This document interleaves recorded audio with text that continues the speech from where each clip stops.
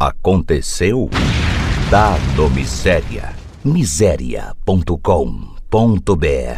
Seu portal de notícias.